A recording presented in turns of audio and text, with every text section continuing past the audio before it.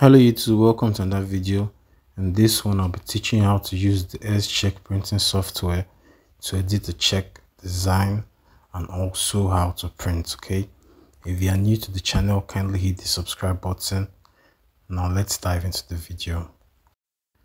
In order for us to proceed you will need the license key so you can actually um verify your software and proceed okay? So you need to input license key can just hit me up for the license key and also the download link? Alright so once you've put the license key you can now proceed to use the software. So first you want to go to the settings go to check setup okay?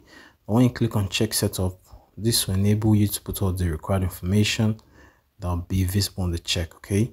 For instance the bank name the bank address the transit code or fractional number the routing number the bank account number and also on the right side you put the company information that's linked to the bank account.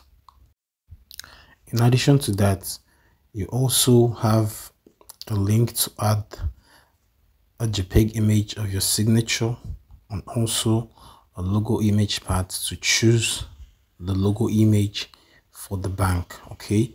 So you can see the first link and you can see the second link on the right side so um for instance i'm just going to put in a random bank account number take note the number i'm just putting is random and then i'm just going to set the current check number to a random number. This will just depend on how you want to basically make your check. I'm just giving you an instance and on the right side you can see um the letters that represent each micr logo and symbol and then you can see the link for you to se select your signature image file. It has to be um basically a signature image with a transparent background. It's going to have a white background. I believe that also work but i recommend use one with transparent background you can edit that in photoshop okay? So um currently i don't have any. I'll make a separate video for that. You can actually use some ai tools to just get yourself quick signature with a transparent background and just import the JPEG file right into that particular folder that source. And then there's the logo image part for the bank logo. You need to choose the bank logo that matches the check you want to issue out okay? So once you've um, chosen your signature you proceed to select the, the bank um, logo. That's exactly what i'm doing right now so i just um choose one. I just downloaded off the internet. This one just use that. You can see that. And once i import it there i just have it saved. And then make sure you cross check all the information. And it says exactly what you want on your check because you need to put correct information. Take note the numbers i'm putting here are just random numbers as i'm giving you an instance okay so you need to put in the correct account number routing number and ensure it actually belongs to you okay? And then you put in the company information link to the account and then you import your signature um image and your bank logo image okay?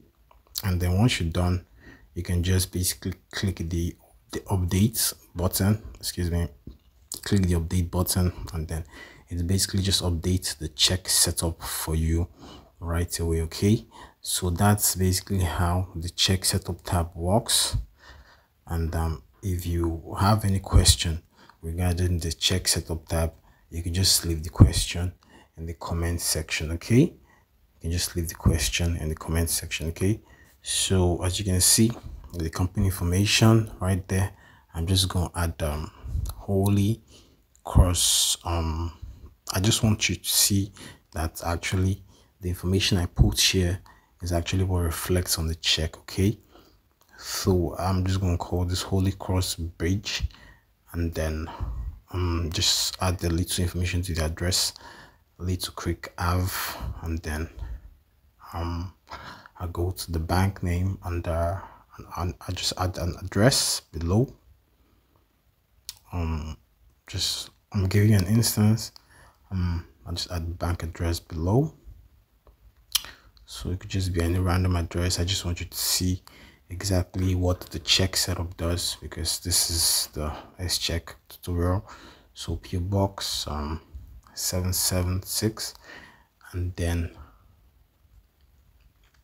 I'll just put in a random address like I said earlier West Valley um West Valley West Virginia West Virginia. So take note um you can actually leave that blank or you can actually fill it if you have the required information. I'm just giving you an instance so you understand perfectly how the check setup works for this check okay?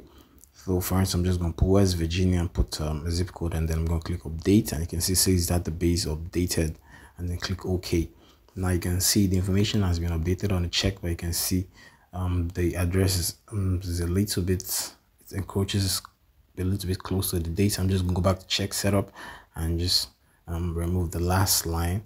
Like i told you it's not necessary to put all that so you just put the address that matches. You can actually reduce the text size but i'm getting to that soon. So you can see now right now i just basically put my check setup so you can see the account number the routing number and the check number at the bottom. And you can see all of the other information on the check. Now quickly when you go to accounts you can actually select the account which you just created. And the one i just created is called holy cross. So just go to account you can actually create a new account. So i'm just trying to give you an instance. This is the account you use in case you want to like issue a new check from new accounts. So you get it you just add you can add a couple accounts. For instance you can you can have a couple accounts in your name you know what i'm saying? So you can actually add a couple accounts you registered in your name could be a company account could be any kind of account. So basically this will give you the option to add the new account and the new account basically come as a check setup as well. So okay once you click to add a new account it's going to bring up the check setup tab once again. And basically just need to put in put in all of the necessary information i explained earlier you know your bank name the information and all of the necessary information so you can see i just created a new account and you can see it's basically all blank and it's reset to the original um default image from s so i'm just going to go back to the account i created holy cross bridge and you can see all the information on the check is updated once again and if i go back and i select company check which is the default check from S. You can see it matches the one I created earlier. I'm just going to select Bond Limited. You can see it's back to the account I just created because I created the new account. So I'm just going to select the Holy Cross account to make sure it's much okay so this is one that's very obvious you can see if that pull of this information so i'm just showing you that you can actually create new accounts create as many accounts as you want using the account feature at the top okay all right at the bottom you just to click new and then this will open the tab for you to put in the necessary payee information. That is the person you want to issue the check to okay? So i'm just going to add a new payee for instance oliver queen. Take note every information i put here is just random information. Oliver queen pay to order put pay to the order of oliver queen and then the payee name oliver queen and then I'm going to input the payee's address.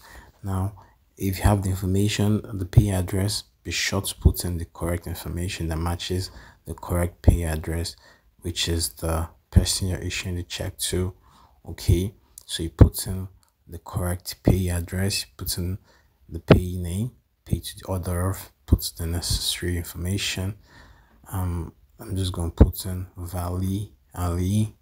This is a random information I'm just giving you an instance. Now this new just allow you create a new pay basically and you put all of the necessary information um, attached to your new pay okay? So the pay address and then you can put a memo. The memo can say approved or payment for a job or payment for service whichever the case may be. And then you can actually put a couple notes to you know give more information regarding the check. And this note will appear in the second and third page of your check. You know when you print the check has two additional stubs. But i'll get to that later. So once you've added a new page you can see it automatically updates on the check software. You can see the name and you can see the page address okay? Now with that you can easily choose whichever one of the names you want to issue a check to. So for instance if you run a company and you have a couple of um you know employees you just add as many payees as necessary and then when you want to issue a check to either one of them you just select that particular one and then you proceed okay? So i just clicked the current payee and then i'm going to set the amount here to the 3485 okay? And just save and then you can see the amount is immediately updated on the check okay so this s check software allows you to do all of this easily and quickly. You do not have to edit it manually using um, a check software using um, a graphic software like photoshop or s check software. You can actually just do all of the editing and designing printing and it makes everything much faster okay? So you can easily select any of the pages and do whatever it is you want to do with them and it just reflects on the check. All right now once you're done with that you can actually print your check. You can print a blank check you can select any of the checks and just print and show your computer is connected to the appropriate printer and that you're using the appropriate check paper. And you can actually order the check papers from the application right? You can see the other checks. Okay just so you know. So anyway let's proceed from there. And that basically um covers the um how you basically put all of the necessary information on your check. Now um in case you want to edit the layout of your check you just go to settings and layout setup.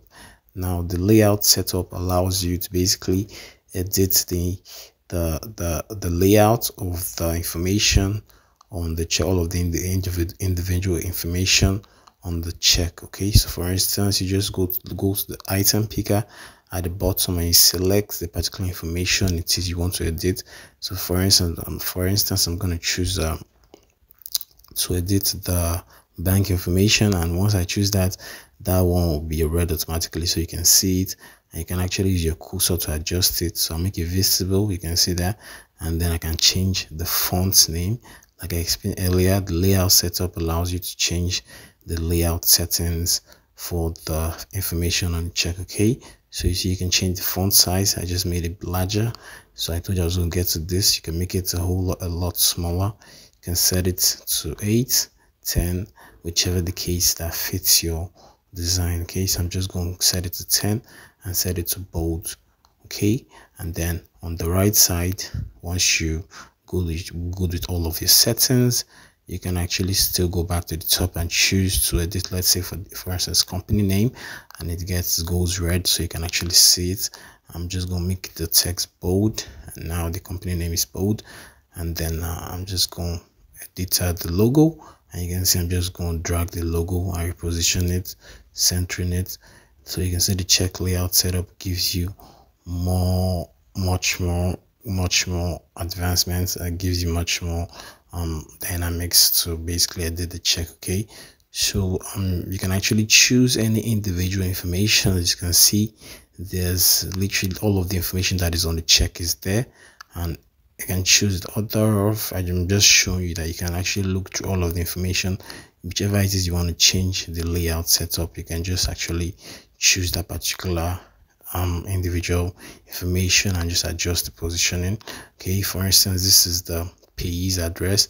You can see i'm just trying to reposition it in such a way that i feel that's a good position. And then i can set the font to bold as you can see. And i just set it back to regular okay? So this layout setup like i explained you just basically have access to editing all of the individual information on the check okay? So you can see the bank information. I'm just going to set that back to I'm just going to choose the bank information. So um, and I'm just going to set that, go to the company name and just set that to regular. Sorry, um, excuse me. I'm just going to set the company to regular. I'm just, I'm just going to save my settings. Make sure you save the settings and you see that has been saved and you can actually close the tab. And once you close it, all of the information will be updated. You can see it's and you see all of the information will be updated. As you can see, you can see the bank information is now in bold text okay? So that's how you just basically use the check layout setup settings. Alright guys i think that basically summarizes everything. And then you can actually go to the settings check stop setup. Like i explained earlier if you're going to print a check on the paper with three pages you have two additional stops and um, this check stop setup will enable you to edit the settings and the two additional stubs on your check okay? You can actually edit the, um, the font's name the font size the font style and you can actually use the item picker to choose the particular item you want to edit in your check stub. But i do recommend you leave the settings the way it is but if you choose to change the settings fine okay. So that basically summarizes it. You can actually use the order checks order for check check files check paper check papers and then you can actually export this as a csv file once you're done and send to um you know basically um another user another administrator and they can import into their air software and edit and you can actually use the help option to basically learn about airs um troubleshoot and then that basically summarizes uh, everything guys. So thanks for watching the video guys. Kindly hit the subscribe button and turn on your post notifications so you do not miss my next video guys. Bye for now